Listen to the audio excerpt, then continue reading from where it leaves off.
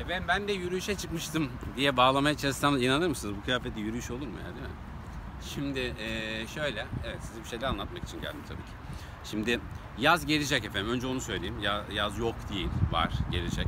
Eee, nerede bu yaz? Hani eee, Kas- eee, Kasım kendisini Kasım zanneden bir Haziran ayı içerisindeyiz.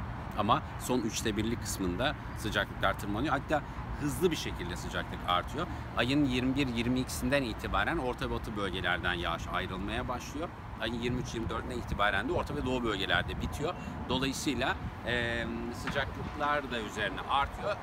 Yani yaz havasına doğru ilerliyoruz. Tabii biz bu e, işte tatil yapacaklar var. Bayram önümüzdeki e, dönemde e, önümüzdeki işte yaklaşan bayrama e, plan program memleketlerine gidecekler, tatile gidecekler vardır. Öncelikle şunu söyleyelim.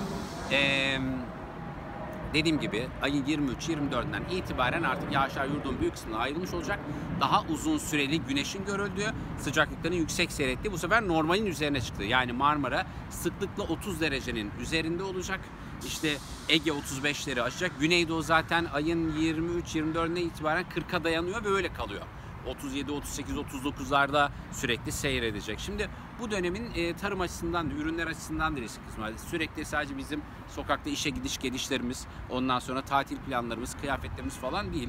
Hayat yediklerimiz, içtiklerimiz, cebimiz var. E, hani çiftçiyi vuruyor, çiftçiyi etkiliyor falan diyoruz çiftçiyi hepimizi vuruyor yani bu gelen meteorolojik e, sıkıntılı durum.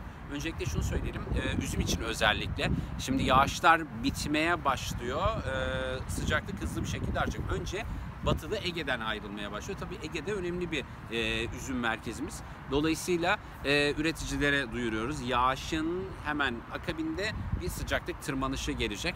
Bununla ilgili işte e, özellikle e, bağ milyosuna karşı işte e, küllemeye karşı külleme nem arkasından daha çok sıcaklığın yükselmesiyle beraber oluyor ama üreticilere duyuralım. E, bu konuyla alakalı da alacakları tedbirleri, önlemleri varsa onunla ilgili e, kendi durumlarını değerlendirip tedbirlerini alabilirler. Genel durum böyle. Yani yaz geliyor, sıcaklıklar artışa hazırlanıyor. Bu haftanın başıyla sonu arasındaki sıcaklık farkı kuzey bölgelerde 13-14 dereceyi bulacak. İstanbul'da 20'lerden 31-32 derecelere çıkmaya hazırlanıyor. Hadi görüşelim ben de yayını hazırladım şimdi.